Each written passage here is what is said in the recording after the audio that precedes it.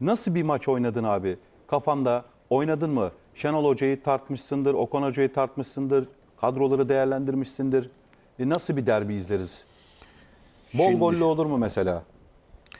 İki takım içinde çok zor bir maç. İki takım içinde yani. Öncelikle Galatasaray için çok zor bir maç.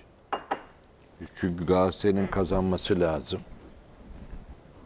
Şu günkü konumuna baktığın zaman aynı şekilde Beşiktaş'ın da kazanması lazım.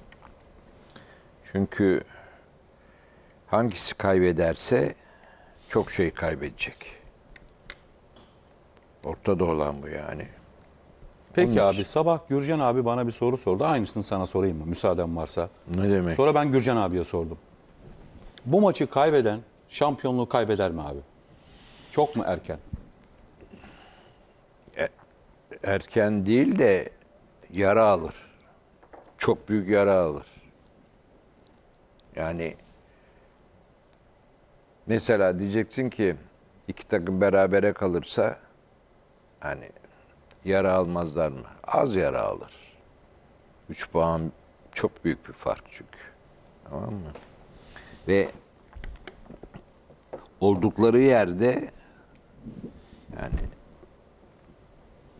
Adana'nın Fenerbahçe'nin altında bir yerdeler. Onları da düşünmek lazım. Artı Beşiktaş takımı bu, bugüne kadar hiçbir derbi kazanmadı galiba. Doğru abi. Büyük maç kazanmadı. Yani işte Bir Başakşehir mağlubiyeti içeride. tabii bir Trabzon de Fener, beraberliği ve şey beraberliği. Üç tane, Fenerbahçe. evet. Fenerbahçe beraberliği. O da büyük bir handikap şimdi. İkinci yarı deplasmana gidecek. Deplasman o da büyük bir handikap. Ama iyi bir maç olacak ama sert bir maç olacak. Yani temposu güçlü, topa girişler, mücadeleler, ikili mücadeleler filan netice çıkana kadar çok çok sert geçeceğine inanıyorum. Haldun abi. Sert, sert diyor. Yani kartlık pozisyonlar, tartışmalı pozisyonlar açısından yanılmıyorsam söylüyor Selim abi. Şimdi şöyle söyleyeyim. Ee, bir kere maçın hakemi Halil Umut Meler'in e, bir özelliği var. Oynatmaya yönelik e, bir e, hakemimiz. Oynatmaya yönelik. Yani Avantaj. evet sertliklere Müsaade ediyor. olduğu kadar müsaade ediyor. Sertlikler derken kasıtlı tekmeler, yumruklar falan değil tabii söylediğimiz. Yani temaslı oyuna müsaade eden bir e, hakem olduğu için mümkün olduğu kadar ben şimdi şöyle düşünüyorum. İki teknik adam da şunu söyleyecektir. Ben bunu söylüyorsam eğer mutlaka iki teknik adam da arkadaşlar temasa önem verelim. Yani hoca teması oynatır. Ona Sert göre olun. diyecektir mutlaka. İki teknik adamın da söyleyeceğini söyleyeyim. Şimdi maçın sonucunun e, şöyle bir özelliği var. E, Ben şöyle şimdi puan cetveline baktım. Şimdi bizim bir aksak ligimiz var abi. Yani 19 takımlı böyle biri oynuyor biri oynamıyor falan gibi böyle bir şey var. Şimdi Fenerbahçe'nin 26 puanı var. Beşiktaş'ın 12 maçta 22 puanı var. Galatasaray'ın 11 maçta 21 puanı var. Şimdi e, 11-11 şu anda e, Fenerbahçe Galatasaray'ın 5 puan önünde abi. Yani 11 maça göre söylüyorum. Ee, 12 maçlı Beşiktaş'ın da 4 puan önünde. Yani bu iki takımın berabere kalması iki takımın da işine yaramaz. Yaramaz. Yani ben bak ne diyorum beraberlik her zaman derbilerde öndedir ama e, işine yaramayacak iki takımın da. E, şu saatte şampiyon şudur, ko- oyun kopar falan denmez. Yani o bir e, bir şekilde ligin kopması için bir 25. haftayı falan görmemiz Peki abi lazım. beraberlik tutmaz mı ikisini de? Beraberlik Orada. ikisini de ciddi manada sıkıntıya sokar. Şöyle sokar. Tabii ki e, iş, her şey bitmez. Şimdi berabere bitti maç. Pa- Sanılmıyorsam, yanılmıyorsam pazartesi günü Sivas maçı var. Fenerbahçe'nin. Doğru, doğru. Fe- Fenerbahçe Sivas maçını kazandı. Arkasından da içeride yine bir Giresun maçı var. Kazandığı andan itibaren aşırı strese sokar aşağıdaki takımları. Yani onu söylemeye Hani çalışıyorum. açıyor. Tabii. Yani makası açar. Beşer, beşer, altışar puan, yedişer puan bunlar e, Büyük daha farktır. henüz 12. haftada falan büyük puan farkları Tabii, oluşturur. çok yani büyük. hep cebinize kredi koyarsınız. Ha şunu söyleyebilirsin. Tabii ki Galatasaray da çok deplasman oynadı. Yani içeride çok maç oynayacak. Bir ikinci yarı avantajı olduğu gerçeğini söyleyelim. Fikstür avantajı olacak. Ama fark böyle olursa fikstür avantajına rağmen sıkıntı yaşamaya başlarsın. Onun bir tadı kalmıyor o zaman. Evet. Yani yaşarsın. Yani bir hep Beşiktaş'ın fikstür avantajı yok ikinci yarı. Beşiktaş tam Büyüklere tersi gidiyor. fikstür. Başakşehir'e gidecek, Fenerbahçe'ye gidecek, Trabzon'a, Trabzon'a gidecek. gidecek. Tabii. Yani Beşiktaş çok önemli avantajını kaybetti. Ama tabii e, Selim abi burada e, Şenol Güneş'i gayet iyi tanıyan, yakından tanıyan, onun e, hocalıkla ilgili performansını bilen bir kişi olarak belki başka şeyler söyleyebilir tabii ki. tabii ki. Yani onu bırakalım. İnatçı bir teknik adam yani senin dediğin gibi abi. Sonuna kadar bırakmıyor. Her şeyden evvel şunu söylemek isterim. Şenol Güneş buraya daha erken gelmeliydi. Bir defa bu. Geldiği şartlarda çok zor şartlarda geldi. Anlattığın gibi puan durumunu tamam çok zor şartlarla geldi. Allah'tan şöyle söyleyeyim çok büyük sevgiyle karşılandı. Bu ona karşılık vermek isteyen bir insan zaten çok adil bir insan, çok iyi bir hoca. Beşiktaş için çok büyük kazançtır. Hele hele hele hele size şunu çok rahatlıkla söyleyebilirim. Seneye seneye çok farklı bir Beşiktaş takımı seyredersiniz. Bunu unutma. Şimdi bir yapılanma mı hani hem Bu sene- yarışma hem Bu yapılanma. sene sonuna kadar kovalar, çok iyi götürür, iyi işler yapar o ayrı. Bir insanın kendi takımını kurması çok başka bir şeydir. Bir de Başkası. var olan kurulu bir takıma gelip orada mücadele etmek çok zor bir şeydir. Ama Şenol bütün bunların her şeyin altından rahatlıkla kalkabilecek bir hocadır. Şimdi Haldun abi senin vurgun hep benim kulağımda o maç günü programında. Orta sahada hakim olmak isteyen bir Şenol Hoca vardır. Klasikleşmiştir. Yani orta saha şimdi hem Galatasaray'ın orta sahasını gözünün önüne getir abi hem Beşiktaş'ın orta sahasını gözünün önüne getir.